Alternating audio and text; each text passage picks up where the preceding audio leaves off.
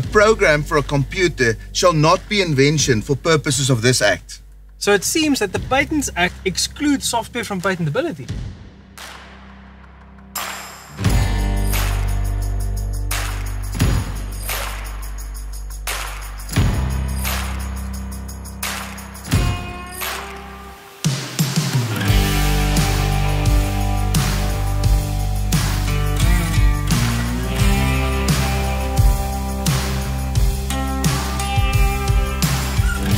What's up, guys, and welcome to another episode with IP Braai. This is my good friend and patent attorney, AJ Rabi.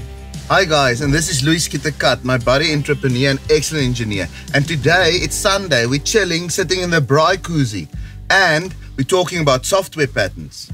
Yes, software has always been a tricky one when it comes to the Patent Act, not just in South Africa but overseas as well. So today we're delving into the Patents Act, the specific requirements for software registration, plus we're looking at some lekker examples to explain all this the IP Braai way. And guys, if you want more information or you'd like to talk to us about patent registration, click the button below.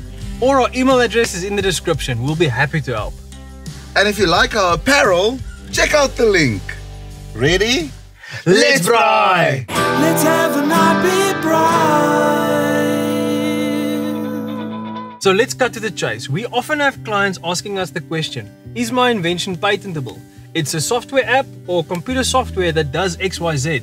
Now, this might seem like a pretty simple question, but unfortunately, the answer is far from straightforward, right? Exactly, Louis. This is a tricky one. Section 25.2 of the Patent Act says a program for a computer shall not be invention for purposes of this act. So it seems that the Patents Act excludes software from patentability. So it would seem, however, subsection 25.3 state the provisions of this subsection 2 shall prevent only to the extent which a patent relates to that thing as such anything from being treated as an invention for the purposes of this act. What, wait, wait, what? That's really confusing, AJ. Let's break it down. Wait.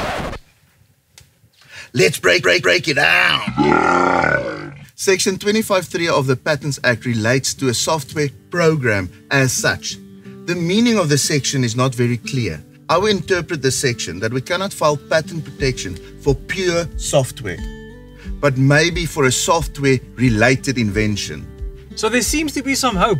Although South African courts have not decided on the exact meaning of these sections, what about other countries? European legislation, such as the European Patent Office, in the appeal board has decided that obviously given novelty and inventiveness requirements, as long as one has a technical character or it achieves a technical result, you should be okay with patenting a software invention.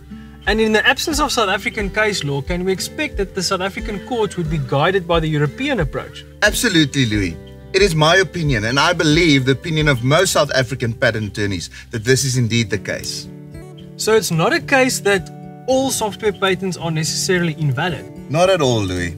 Guys, I would seriously recommend if you are a software company and you've got a software related invention, please do file for patent protection until we either have a change in the legislation, meaning court cases deciding something else, or an amendment to the Patent Act. Makes sense. So we've established that pure software is out, but a software related invention could still be patentable. Could we have a look at some examples? Absolutely, Louis. I usually like to use the example of an autopilot on an airplane. What about the autopilot of a big ship? Most definitely, Louis.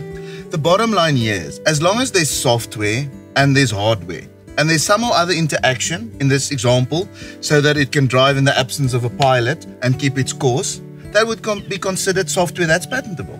Right, so the software needs to interface with several hardware measurement systems like a GPS to know the location of the boat, the orientation, and the speed. That same software system then interfaces with the engine room to increase or decrease speed and the rudder to sustain or change its orientation. Exactly, Louis.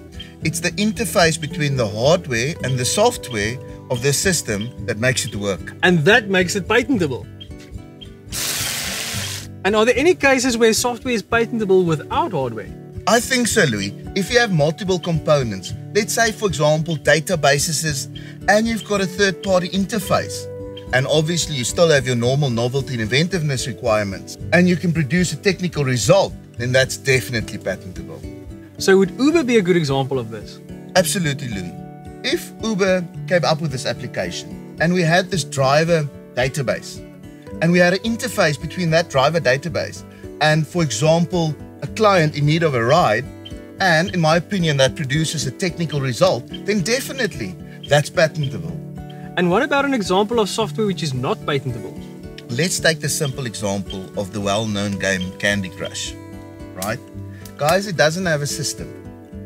It has got no technical result, in my opinion, that it produced. It's purely a game.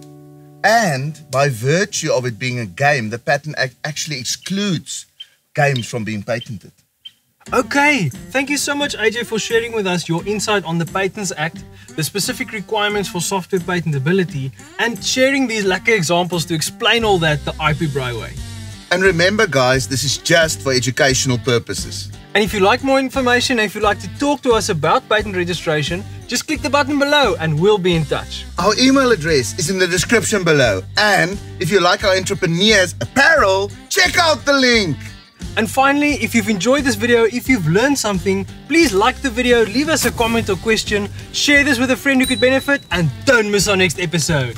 IP Braai! Let's have an IP Braai.